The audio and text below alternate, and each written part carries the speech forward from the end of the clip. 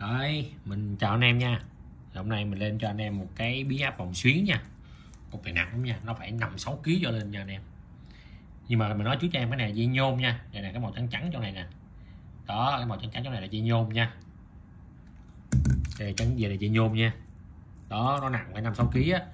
Mình bán nha, mình bán cho anh em cái này là bí áp ờ, nếu mà nói không lọc bí áp tại bí áp à, 2 220 210 nha. Thì cái này về anh em ờ, để dùng, sử dụng cho ờ, 200 210 cũng được, hoặc là anh em, về anh em chế mấy hàng xe pin là cực kỳ ngon luôn nha. Tại cái dây này nó rất là lớn nha, dây này chắc có phải hai ly có anh em. Đây nè, dây này rất là lớn nha, dây này phải hai ly á. Đó, thì cái này mà anh em nào mà chế mấy khoa, chế chế mấy hàng xe pin là đúng bài luôn.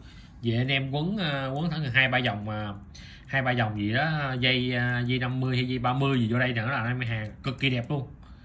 Đó, ở đâu mình có một cục này nha đó, thì mình thanh lý cho anh em à, giá giá là 150k chưa có ship nha. Anh em nào mua thì cân nhắc nha, cục này nó phải nặng 5 6 kg á. Đó 150k chưa có ship. Đó. Mấy dây này nó không có chết đâu nha anh em anh em đừng có lo. Ừ. đó, anh em nào muốn mua về về lấy 220 110 xài cũng được. Từ 220 ra 110 xài cũng được. Đó, hoặc là anh em à, về anh em quấn mấy hàng xe pin là đúng bài luôn đó. Rồi thôi chào mọi người.